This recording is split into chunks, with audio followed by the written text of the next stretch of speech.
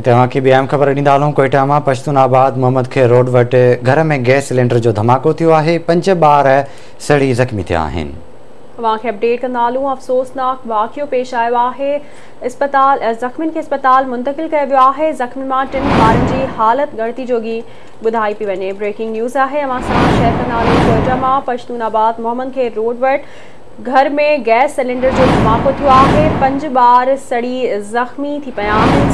के अस्पताल मुंतक़िल ज़ख़्मी माँ टिनि ॿारनि जी हालत जो बि ॿुधाई पई वञे।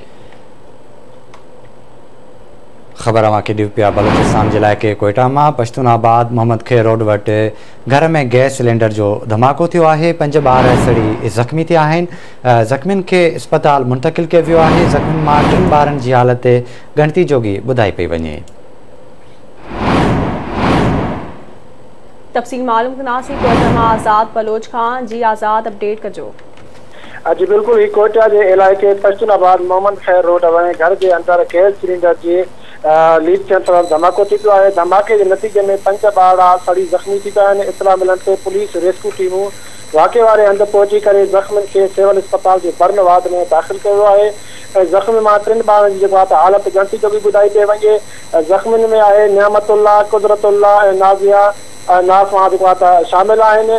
ऐं जेको आहे पुलिस राब्तो करण ते ॿुधायो आहे त धमाको गैस सिलेंडर जो थियो आहे। ऐं वधीक धमाके बाबति जेको आहे त जाँच हलंदड़ आहे। जी।